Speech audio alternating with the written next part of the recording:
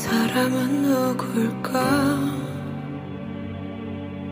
한참 마음을 뒤져 찾았는 난 익은 슬픔과 오랜 그늘. 겁이 났던